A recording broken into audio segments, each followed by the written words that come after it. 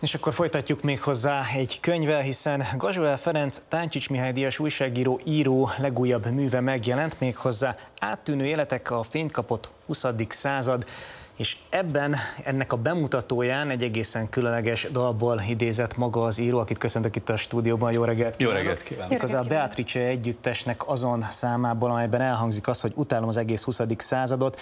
Ebben Nagy Feró énekel Horti Miklósról, Stálinról, Adolf Hitlerről. Miért ebből idézett a bemutató alkalmával?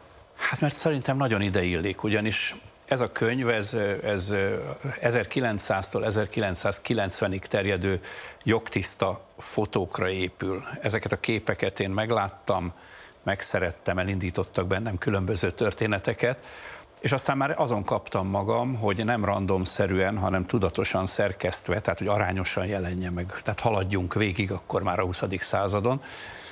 Ez az évszázad alul nézetből a családok oldaláról, és őszintén szólva elkezdtem dúdolni magamban ezt a dalt. Én nagyon szeretem a Beatrice-nek, hogy ezek szerint ön is ezt, ezt, ezt a számát, és nagyon igaz erre a századra, miközben az is igaz, őszintén szólva, hogy azok az emberek, akik végigélték ezeket a borzalmakat, hát gondoljon bele, hogy valaki mondjuk a századfordulónk született, vagy a, az 1890-es években, és hosszú élete volt, akkor mi mindenem ment keresztül, két világégés, összeomlások, forradalom, ellenforradalom, konszolidáció, tanácsköztársaság, még ez sok minden.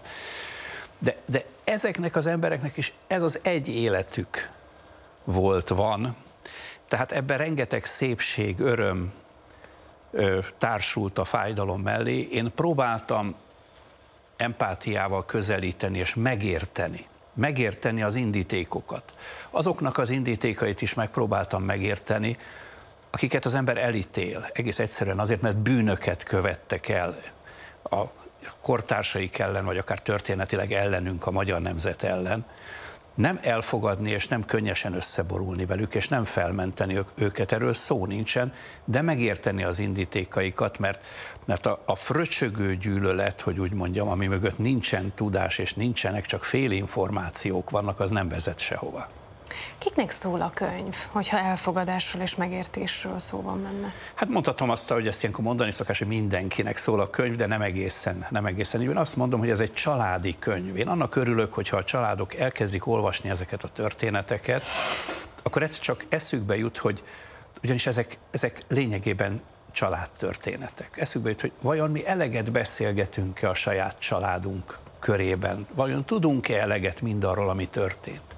Egyébként 1958 és 1980 között, 89 között olyan bűnök történtek, amelyek kibeszéletlenek a magyar, magyar történelemben, és kibeszéletlenek a családokba is. Hát a Kádár korszakban a gyereket, unokát védendősen mondták el az idősebb generációk, mert féltek, hogyha a családban valami olyasmi történt, teszem azt 56ért, bármiért, ami mondjuk a Kádár eh, rendszerrel ellen, ellentétes, vagy annak egyáltalán a, a, a, a doktrínáját sérti, akkor ezért, ha a gyerek ezt mesélgeti az iskolába barátok között, még baja eshet. Tehát ezek kibeszéletlen dolgok, és én nagyon szeretném, hogy beszéljük ki az életünket. Én írtam ezekből a történetekből, ami irodalmi alapanyagul szolgál, egy színdarabot, Léner András rendező barátom fedezte fel ezekben a szövegekben, hogy ő azt mondta, én ehhez nem értek, hogy ez jól mondható, és egy egész estés színdarabot álmodott ebből,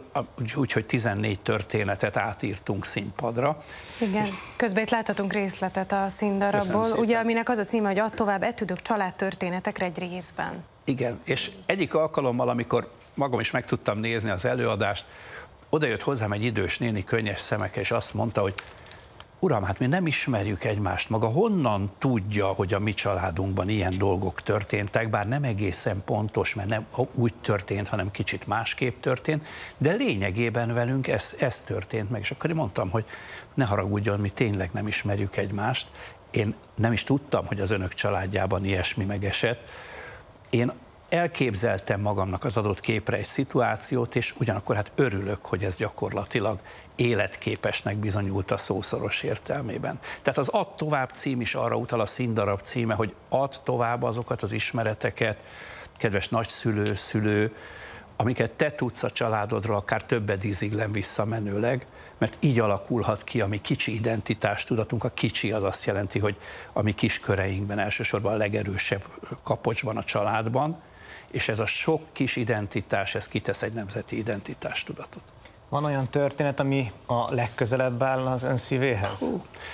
Hát ugye, hogy hát az író az így van vele, hogy, hogy mindig, a, mindig a legutolsó, tehát mindig az, amelyik, amelyiket legutoljára írta meg, de én őszintén remélem, hogy a történetek bizonyos mértékig, legalábbis minőségében és mélységében egyenértékesek.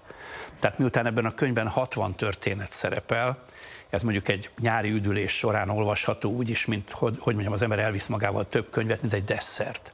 Hogy na előveszem, és belelapozok, és elolvasok három-négy történetet egymás után. Igyekeztem úgy is szerkeszteni az egészet, hogy, hogy nem kronológiában, időrendi sorrendben vannak a, a darabok, hanem, hanem bokrokban. Tehát, tehát tematikus bokrokban, és akkor a tematika körül azt a három-négy-öt történetet elolvassa, és úgy elgondolkozik rajta, és aztán beugrik a vízbe, úszik egyet, labdázik a gyerek, és megint elolvas három-négy történetet. Akár így is kezelhető ez. Kazsol Ferenc, köszönjük szépen, hogy itt volt velünk. Köszönöm a meghívást.